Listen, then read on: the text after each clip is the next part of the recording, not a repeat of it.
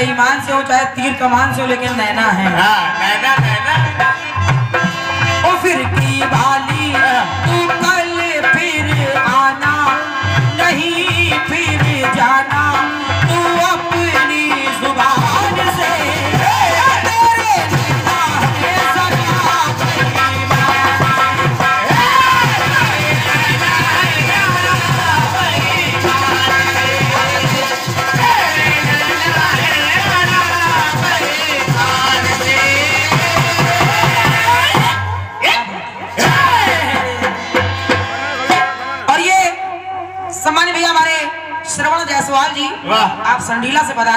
से। आपके द्वारा ये 201 मुद्राओं का आशीर्वाद प्रदत्त हुआ है।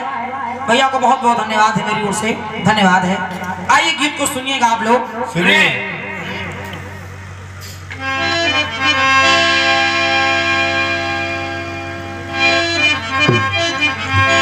चूँकि माता शीतला का दरबार है। हाँ। तो ये अपना पहला गीत माँ के चरणों में ही गा रही हूँ। ये पहला श्रद्धा सुमन माता के चरणों में ही समर्पित है। तो सुने आप लोग। सुनिए। सुनिए। शेरा वाली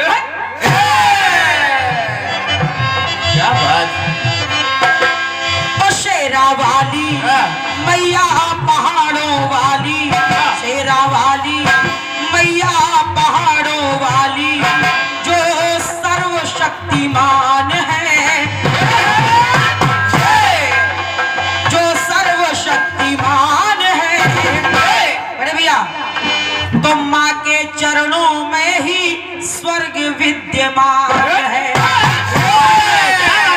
समझते रहिए। पहली पंक्ति गा रही कि माँ के चरणों में ही स्वर्ग विद्यमान है। हाँ। पंडा जी ये को सुने आप। सुनिए। ओ शेरा वाली मैया पहाड़ों वाली जो सर्वशक्तिमान है।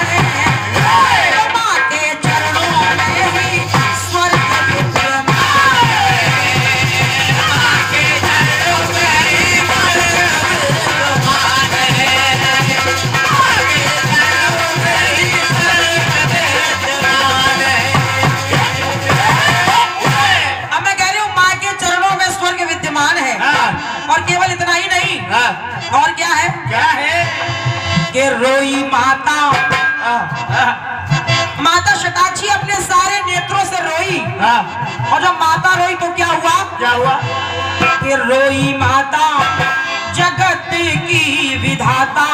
रोई माता जो जगत की विधाता तो खुशी हर इंसान है। देखिए माता रोई तो हर इंसान सुखी हो गया।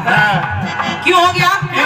क्योंकि माता के नेत्रों से तो जो आँसू गिरे उन आंसुओं से धरती पर हरियाली आई।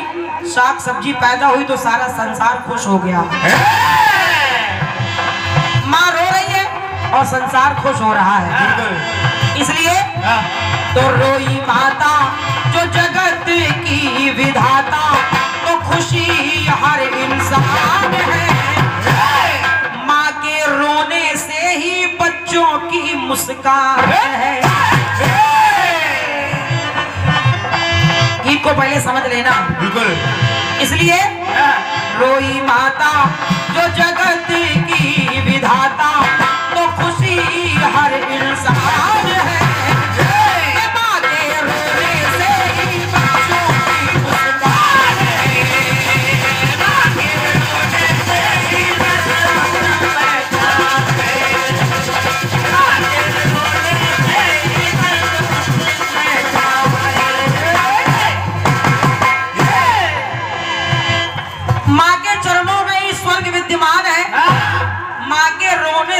बच्चों की मुस्कान है। अगली बात देखें आप। अगली बार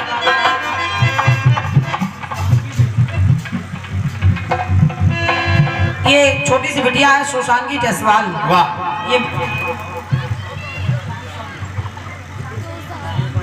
अच्छा ये तुषांगी जायसवाल। ये बिटिया की तरफ़ से पचास मुद्राएँ प्रदत्त हो रही हैं। माता रानी से सुखी जीवन की कामना है।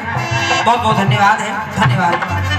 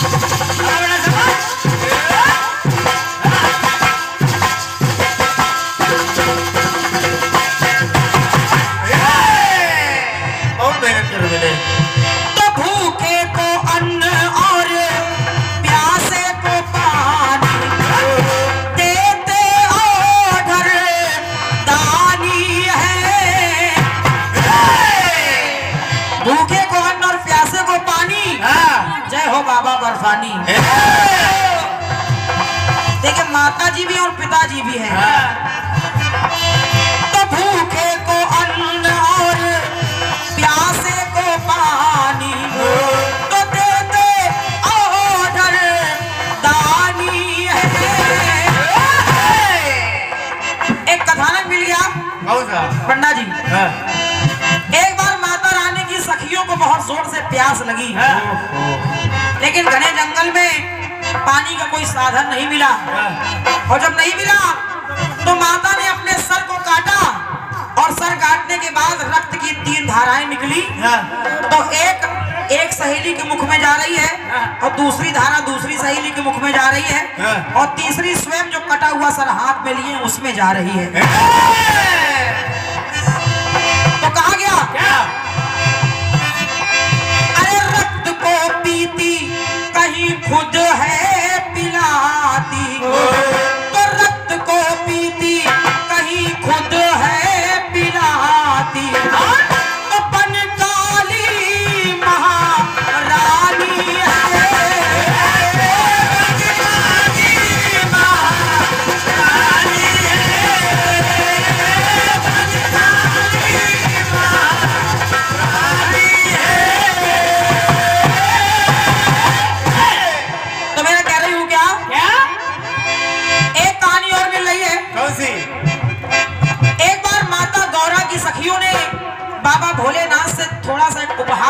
चाहा।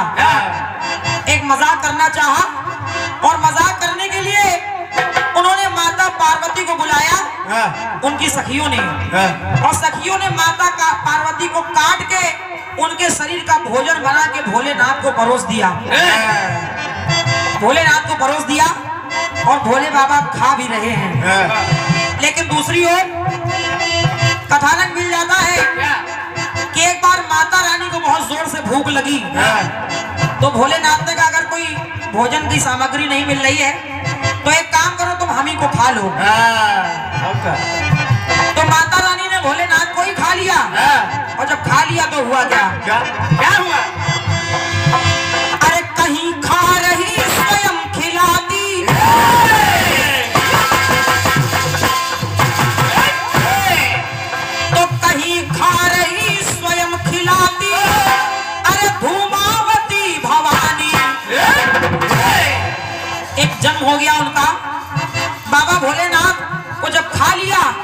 तो भोलेनाथ उनके रों के छिद्रों से धुआँ बन के निकल गए।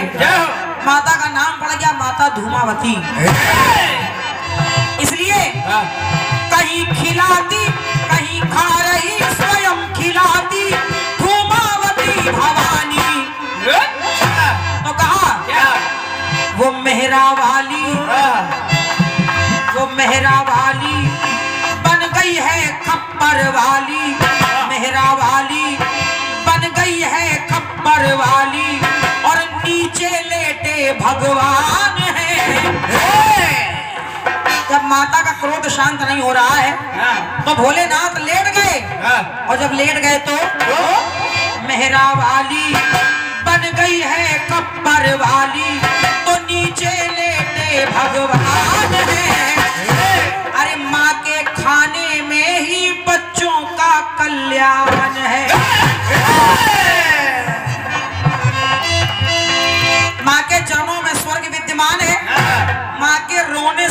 बच्चों की मुस्कान है।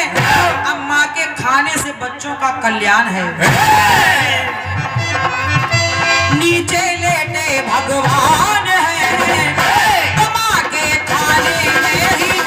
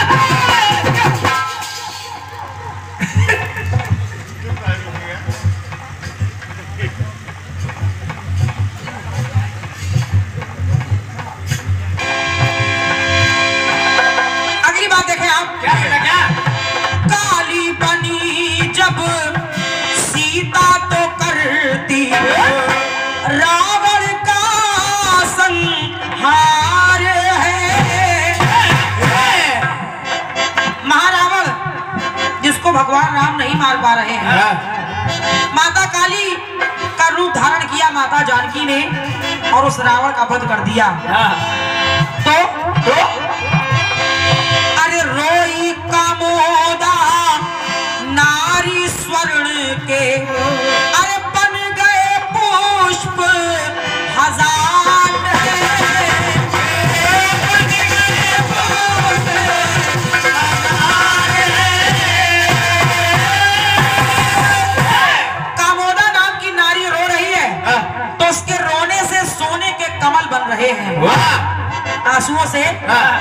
के कमल बन रहे हैं। हाँ। लेकिन अब दूसरी ओर देखें। क्या?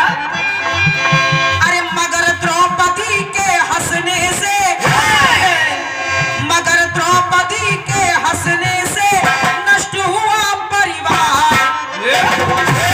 तो यहाँ हाँ, अरे बनकर काली। हाँ, वो बनकर काली असुरों को मिटाने वाली। बनकर काली असुरों को मिटाने वाली वो करती रक्तपान है। अरे करती रक्तपान है। तो माँ के हंसने से ही बच्चों का सम्मान है। माँ के हंसने से बच्चों का सम्मान है। हाँ, नोट करते जाइएगा। तो बनकर काली असुरों को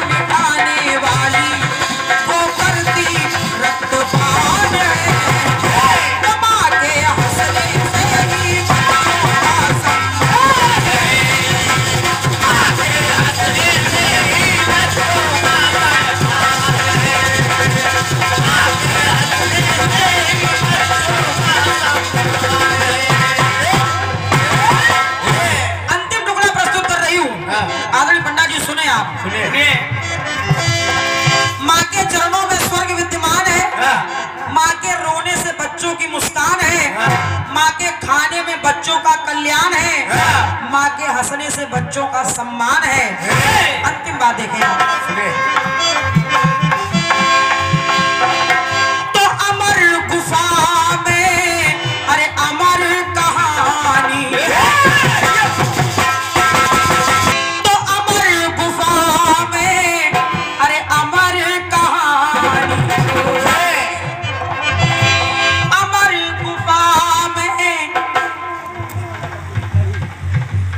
ये भैया हमारे श्री कमलेश प्रजापति जी गढ़ी। आपके द्वारा इक्यावन मुद्राओं का आशीर्वाद है। भैया को धन्यवाद है धन्यवाद। सुनिएगा। तो अमर गुफा में अरे अमर कहानी हो। कहते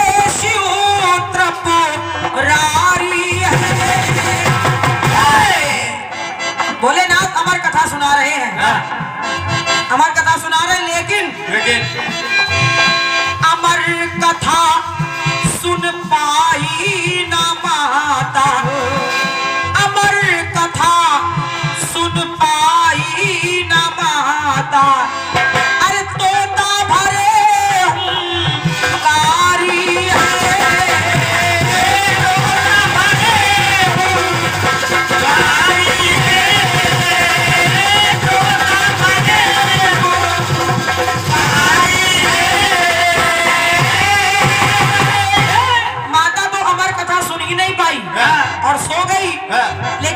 का बच्चा होंकारी भरता रहा और वो अमर हो गया।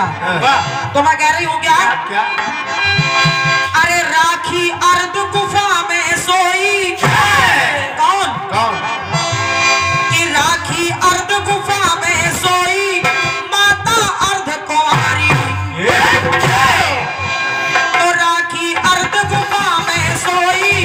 माता अर्ध कुमारी वो कटरा वाली वो कटरा वाली है तीन पिंडी वाली। कटरा वाली है तीन पिंडी वाली। और पहरे पे हनुमान है। कटरा वाली वो तीन पिंडी वाली। और पहरे पे हनुमान है। तो माँ के सोने में जगती उसकी संतान है। हनुमान जी महाराज पहरा दे रहे हैं। उनकी संतान पहरा दे रही है और माँ सो रही है। तो पहरे पे हनुमान है।